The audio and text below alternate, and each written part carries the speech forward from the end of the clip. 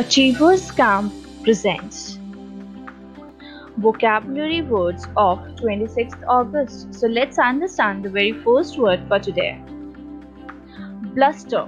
Bluster is a verb which means talk in a loud, aggressive or indignant way with little effect. मतलब आप किसी से बहुत aggressive या लाउडली बात कर रहे हैं तो आप उसको ब्लस्टर कहते हो, लेकिन उसकी इफ़ेक्ट कम है। जैसे हम हिंदी में बोलते हैं ना, धमकी देना। झूठ मूठ के हम धमकी दे रहे हैं। That is what is bluster let's understand through a sentence I know that it was all bluster and he was not really angry with me मुझे पता है कि वो मुझे धमकी दे रहा था, वो एक्चुअली में मुझसे गुस्सा नहीं था।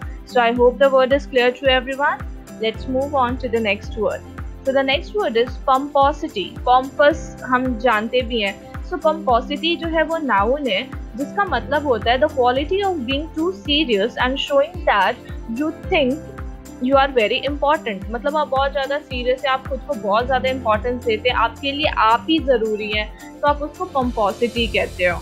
चलो इसको आ, हम लोग सेंटेंस से समझते हैं। Pomposity was a feature of Ram from a very little age जो सेल्फ इम्पोर्टेंस है, वो राम का कैरेक्टर का एक बहुत इम्पोर्टेंट ट्रेट है, बहुत छोटे एज से right so pomposity is basically self importance so I hope this word is also clear to everyone let's move on to the last word for today last word is exorbitant exorbitant is an adjective which mean of a price और amount charged unreasonably high मतलब ज़रूरत से ज़्यादा महँगा। कोई चीज़ जो बहुत महँगी है, आप उसको एग्जॉर्बिटेंट कहते हो।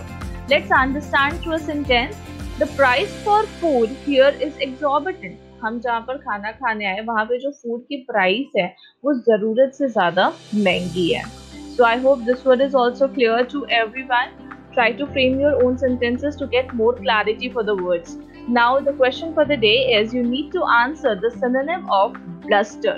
Now the options are grunt, rant, modesty and extortionate. Very easy to answer, just comment your answer in the comment box and for more such videos like and subscribe to our channel. Thank you.